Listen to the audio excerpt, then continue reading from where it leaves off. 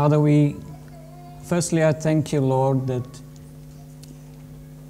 you gave Carol and I a break. Um, we thank you for the lovely people here who were willing to send us away and looked after the church while we were away, too, Lord. I thank you for that. This morning, Lord, as we come around your word, we pray that you would speak to us through your word. Let your word go deep down into our hearts and produce the fruit that you desire in each one of us. We willingly submit to the authority and the leading of your Holy Spirit this morning. Bless your word to us, Lord, in Jesus' name. Amen. Thank you. My topic this morning is on forgiveness. Forgiveness is one of the things that I struggled with even after I became a Christian. In my earlier years with the Lord, um, I struggled with, I would say, maybe 10 years after becoming a, a Christian, I still struggled with forgiveness, particularly towards my father. And you all know the story of um, my uh, childhood and, and upbringing.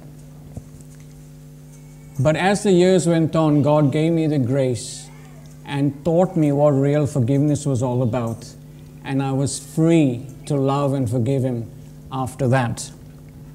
But as I move around and as I talk to people, even in Christian circles, I still hear that they too struggle with forgiveness. And hopefully, what I share this morning will be a blessing to you and will help you as it helped me. One of the supporting pillars of any beneficial relationships is forgiveness,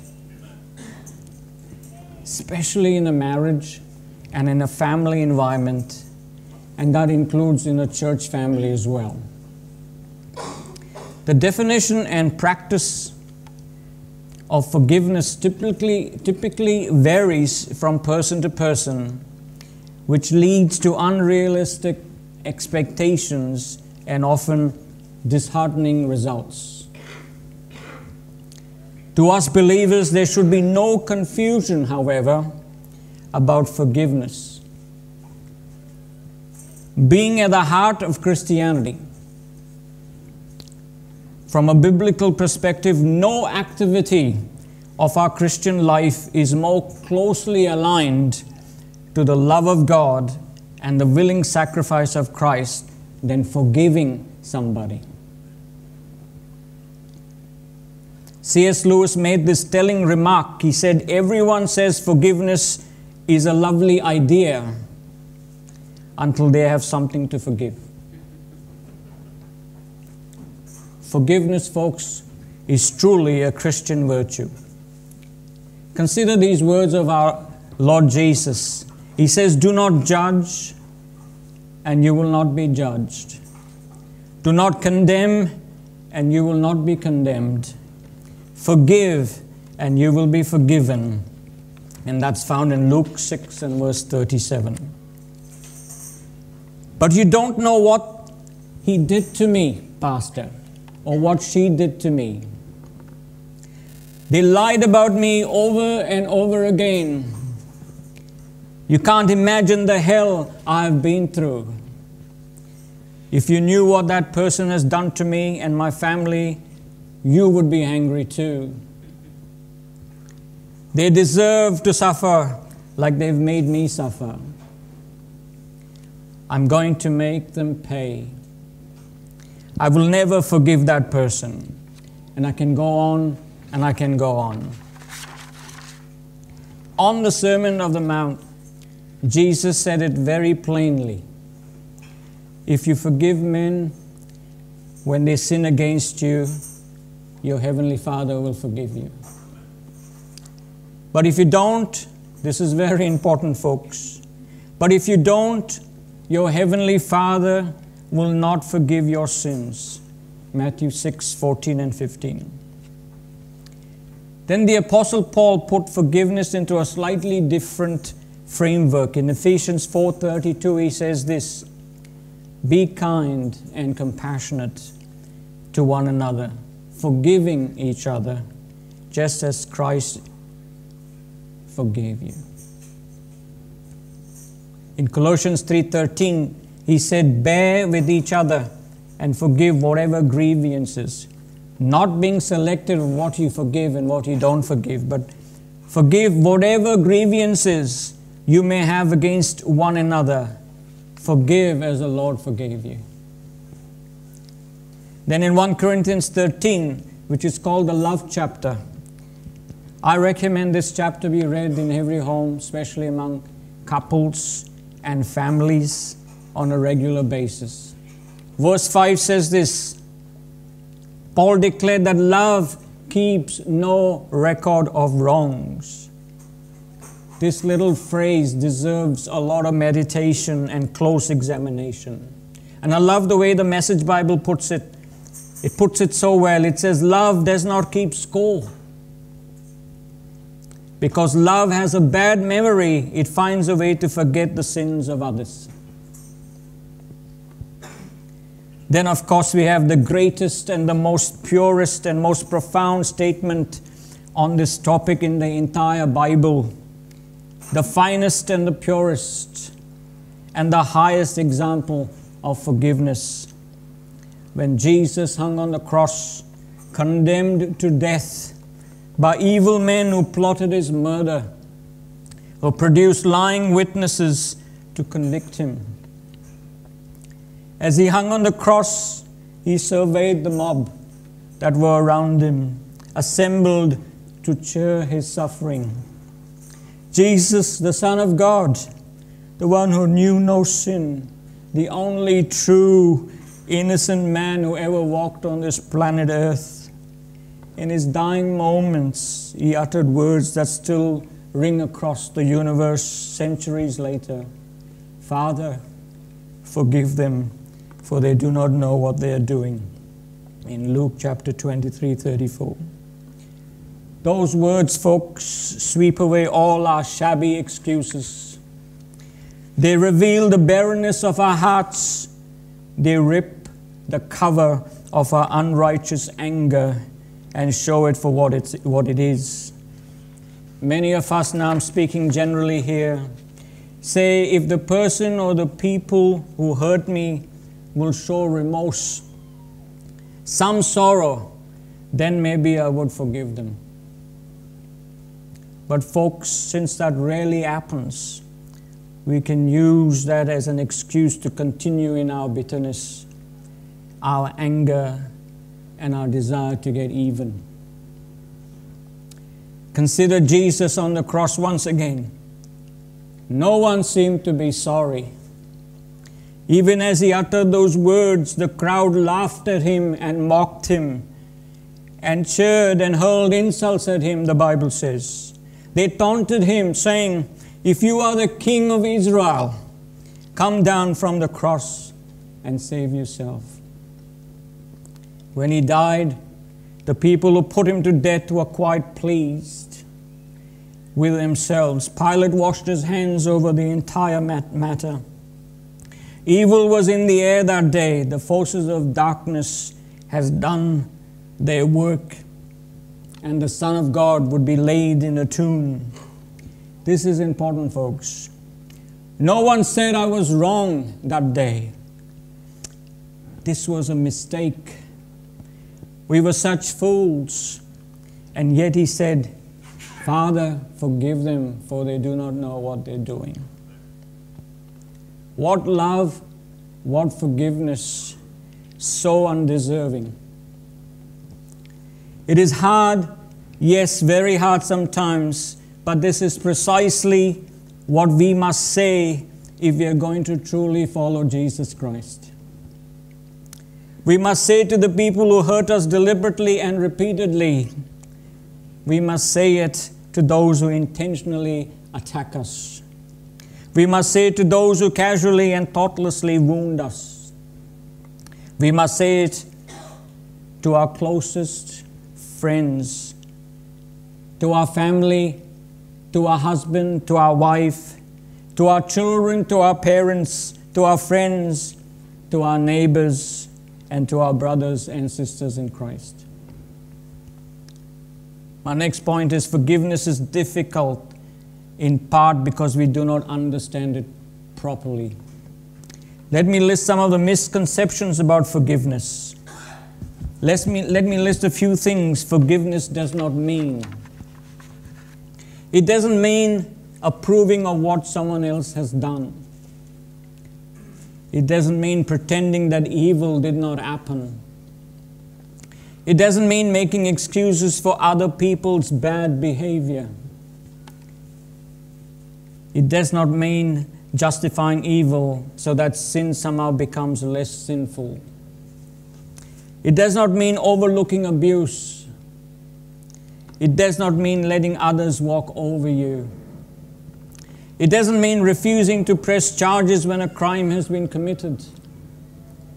It doesn't mean pretending that you were never hurt. It doesn't mean you, you must become best friends again with that person. And lastly, it doesn't mean all negative consequences of sin are cancelled. This is very important, folks.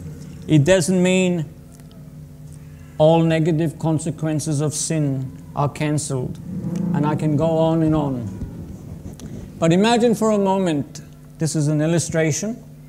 I was seen in a nightclub, engaged in activities that would embarrass Christ, firstly, and then embarrass this church. And my activities were then exposed to the leadership of this church and to the congregation.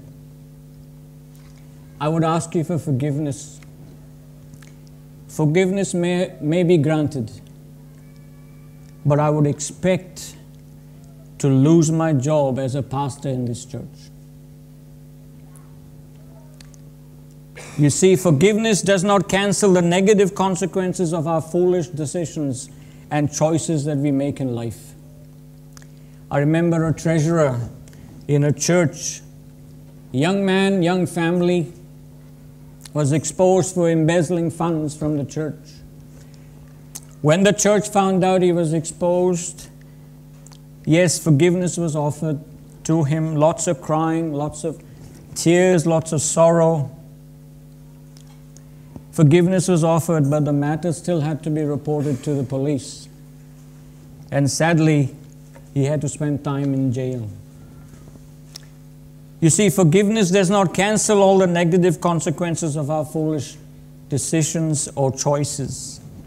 In June this year, many of us from this church attended a Safe Church Awareness course. It was a full day course. Everything taught on that day was to do with maintaining a high moral and ethical standard to keep each one of us safe in this church in the eyes of the law, of course, and of course in the eyes of God as well. And any breach of those standards could lead to criminal, uh, criminal uh, consequences. So forgiveness can be offered, but the consequences of our foolish decisions, there is a price to pay for that, folks.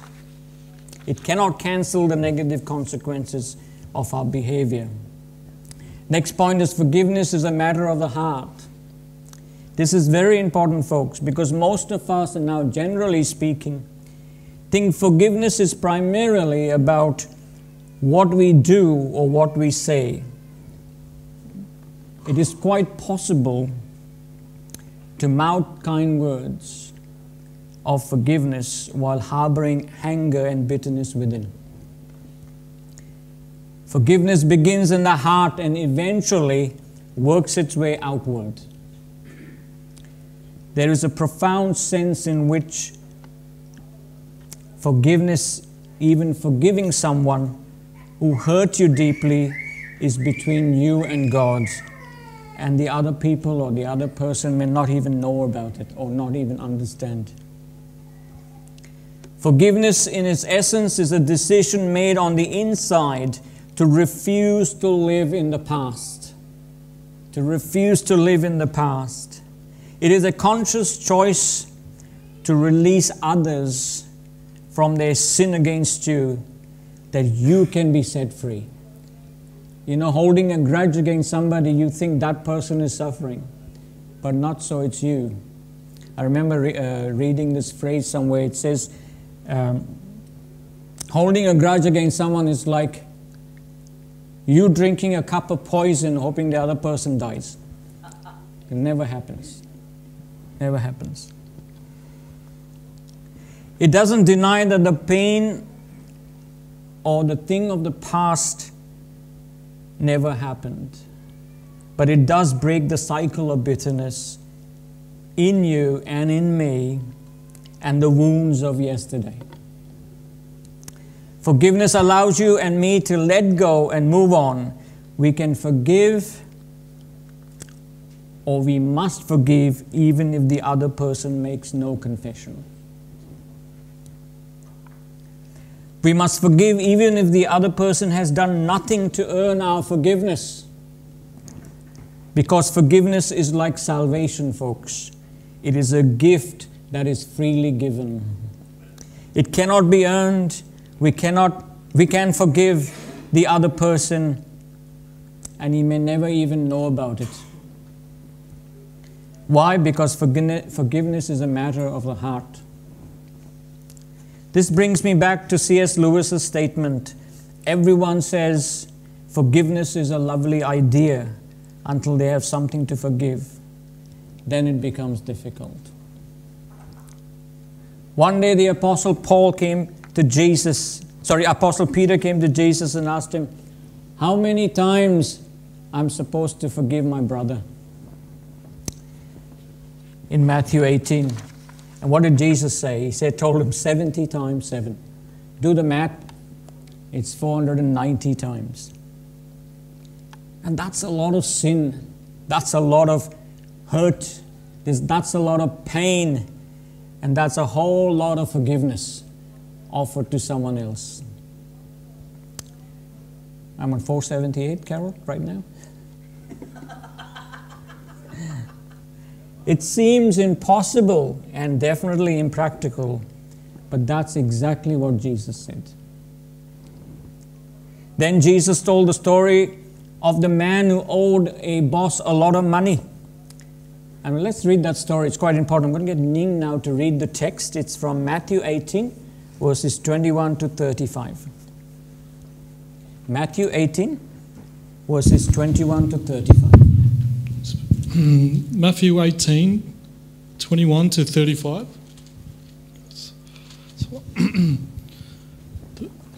then Peter came up and said to him, Lord, how often will, I, will my brother sin against me? And and forgive him as many as seven times. Jesus said to him, Do not say to I do not say to you seven times, but seventy times seven. Therefore, the kingdom of heaven may be compared to a king who wished, a, who wished to settle an account with his servants. When he began to settle one, he was brought to him who owed him 10,000 talents. And since he could not pay, his master had ordered him to be sold, with his wife and children, and all that he had, and the payment he and the payment to be made. So the servant fell on his knees, imploring him have patience with me, and I will pay you everything. And out of pity for him, the master of the servant realized, released him, and forgave him the debt. But when he, but when the serv, but when that same servant went out, he found one of his fellow servants who owed him a hundred denarii, and seizing him, he began to choke him, saying, "Pay, pay what you owe." So his fellow servant fell down and pleaded with him. Have patience with me, and I will pay you. He refused and went and put him in prison until he should pay the debt. When his fellow servants saw that he had taken saw what had taken place, they were greatly distressed, and they went and reported to their masters all that had taken place. Then, then this master summoned, summoned him and said to him, You wicked servant, I forgave you and all the debt because you pleaded with me and you, and you should not and you should not and you should not have ha, uh, and you should not and you should not you uh, sorry guys just and you and and should not you have had mercy on a fellow servant as I had mercy on you. The jailers, uh, uh, and servant on you. And, and in anger, his master delivered him to the jailers until, until, he, until, he, until, he, until he should pay all his debt. So, so also my heavenly Father will not do everything one will not do everything one to you if you do not forgive your brother from your heart. Thanks, Ning. Some translations uh, in verse 34 uses the word tormentors or torturers. But I want to bring your attention to verse 35, folks. It's so important. So my heavenly Father also will do to you if each of you from his heart does not forgive his brother his trespasses. This is so important for us. These words are for believers, not unbelievers, because it talks in context of brothers. Jesus said, What happened to that man will happen to you and me unless we learn to forgive and forgive and forgive and forgive. He says, Otherwise, the tormentors will come and torment you. The tormentors will come and take you away and torture you. What tormentors? The hidden tormentors of anger and bitterness that eat us from the inside. The tormentors that make us lie awake at night, stewing over rotten things that have happened to us. The tormentors of unforgiveness, unforgiving heart that stalk you day and night, never leaving your side and sucks every bit of joy from your life any person living in unforgiveness, you will find, live a fairly unhappy life. They do stew over things, they worry about things at night, they are angry, they are bitter. Now, this is not legalism and it's not a scare tactic. This scripture verse in verse 35, rather, it states the seriousness of responsible forgiving and demonstrates how unforgiveness clogs the channel of communication and sanctification between God and His people.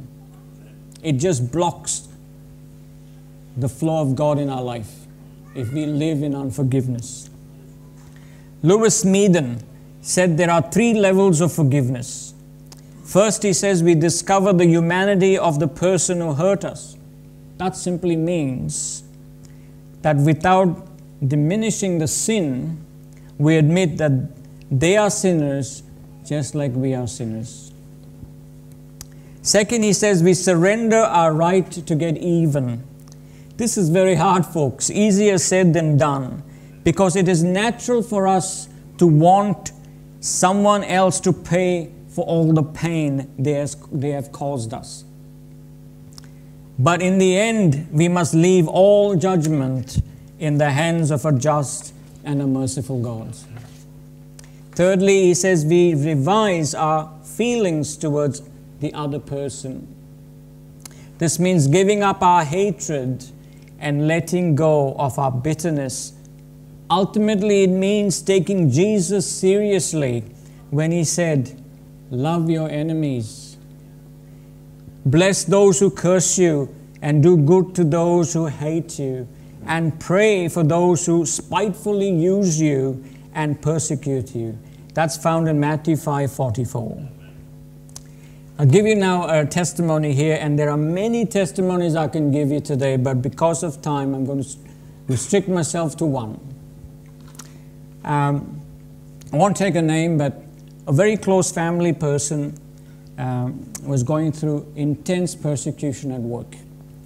She was uh, head of a HR department, and this new person came in and, uh, and kind of took over what she was doing, but took it over in a very sly uh, way and uh, started to write, you know, emails that were not right, emails with information that were really to bring her down. Many times when I spoke to her over the phone, on the WhatsApp chat. She said to me, I want to give up. I want to chuck in the job. She says, I can't take it anymore. I can't take it anymore.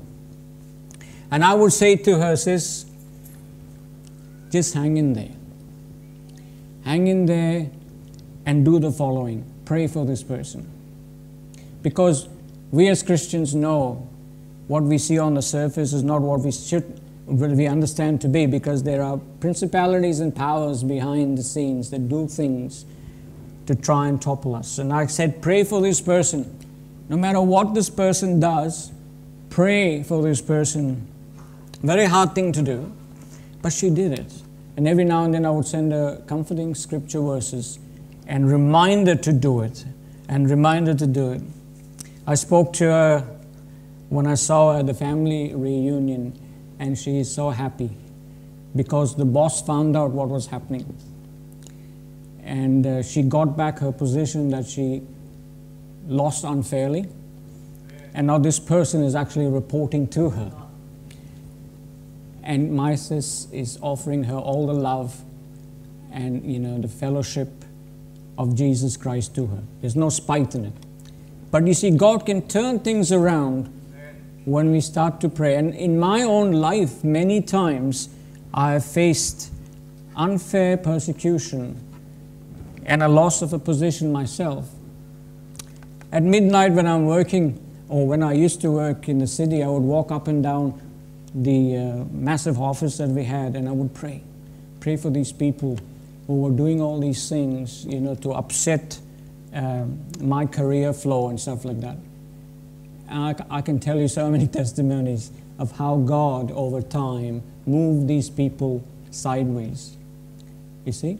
No bitterness. It was tough, but you just pray and bless them. Pray and bless them. This morning I was talking to Richard, something similar is happening in his work, and I said, Richard, you just have to pray and bless them and let God take care of everything. So I want to encourage you this morning. We just pray, no matter it says, we love our enemies and bless those who curse us or do things to unfairly persecute us.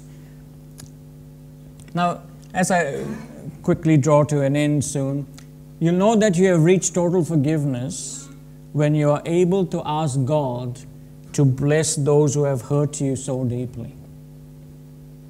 This indeed is a high standard, so high that without God it is impossible. You cannot do that if you don't have God in your life to help you. That is why Smedes calls forgiveness a miracle, He's, and he is right. Total forgiveness is nothing less than a miracle of God that we extend to others. Final thoughts. Firstly, forgiveness is not an optional part of a Christian's life. It is a necessary part of what it means to be a Christian. If we are going to follow Jesus Christ, we must forgive. We have no other choice.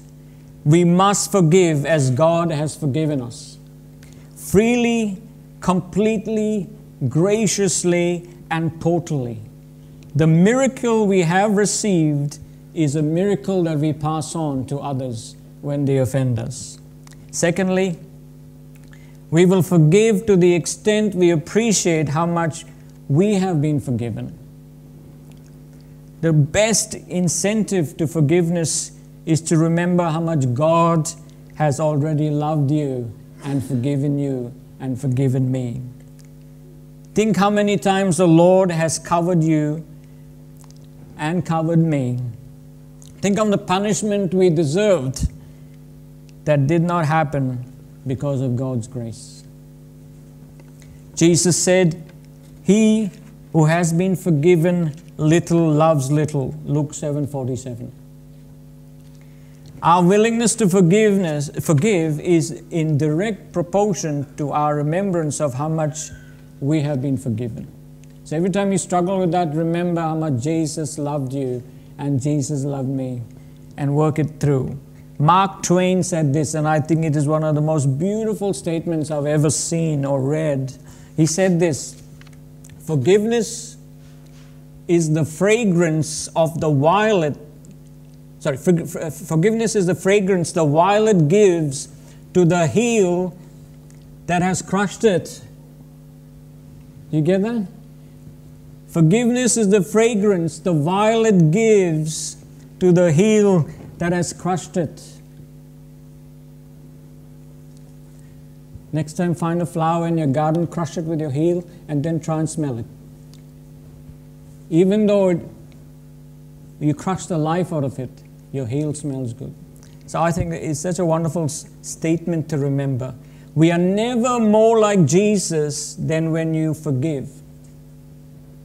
And you and me will never be set free until we forgive. Release them and you will be set free. Amen. Let's pray.